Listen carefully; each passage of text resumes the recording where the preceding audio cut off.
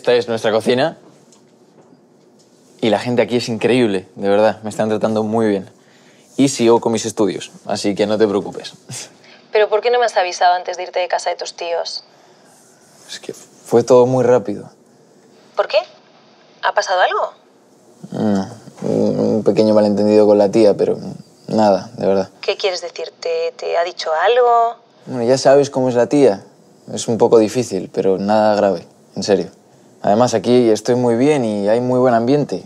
Y puedo estudiar tranquilo. Así que ¿Cómo van a ser iguales el orégano y la albahaca, Daisy? Ya te dije que para mí no hay diferencias. Las dos son plantas verdes. Bueno, el perejil es igual al cilantro y van en recipientes distintos. No, no. Hola. Seguro que vas a estar bien. Bueno, te presento a Pietro y Daisy. Hola, mucho gusto. Hola. El ¿qué mejor tal? chef y la mejor bailarina de toda la ciudad.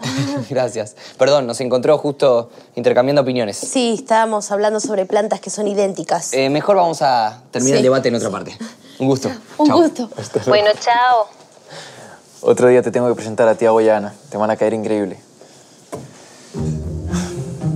No, no me pongas esa cara.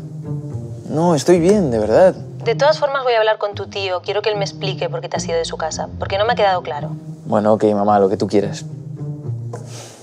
Tengo una llamada de trabajo. Mañana me vuelvo a comunicar. Y cualquier cosa me avisas, ¿vale? Ok, tranquila.